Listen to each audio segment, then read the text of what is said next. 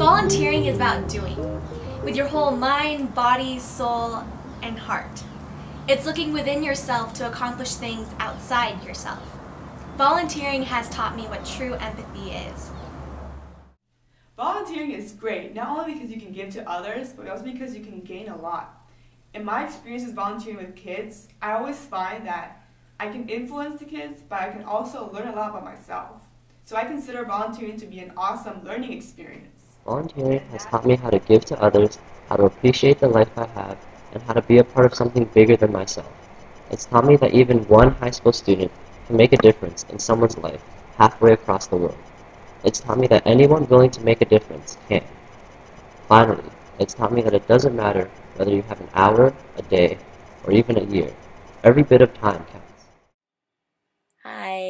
My best giving experience was last year in Ghana.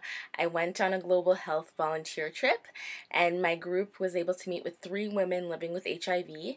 And um, we got to spend the day with them and hang out with them, listen to their stories. And I think that um, more than anything that we gave to them, they appreciated uh, us just sitting down with them and listening to their stories of hardship.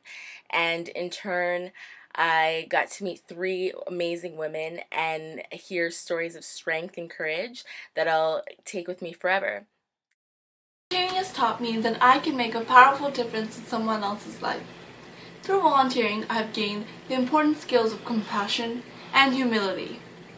Volunteering has made me realize that I have greater appreciation for my life. Volunteering has allowed me to understand that I have an array of indispensable opportunities. Things such as poverty may be cyclical, but with support, these problems will slowly disappear. Volunteering allows for both a physical and an emotional impact, rousing support for a cause until goals are reached, ultimately facilitating the advancement of our society. Seeing poverty and hardship have often reminded me that many people in our world have it worse off than I do. But we must make the changes we wish to see in the world, and remember that there is a light that never goes out.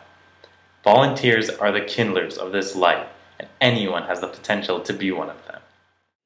My favorite way to give is through volunteering as a Spanish and math tutor. It's such a rewarding feeling when I see a student smile after they figure out a problem or master a new skill that they just learned.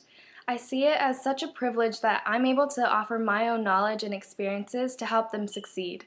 From my students, I've learned that what I give to them is incomparable to what I receive in return.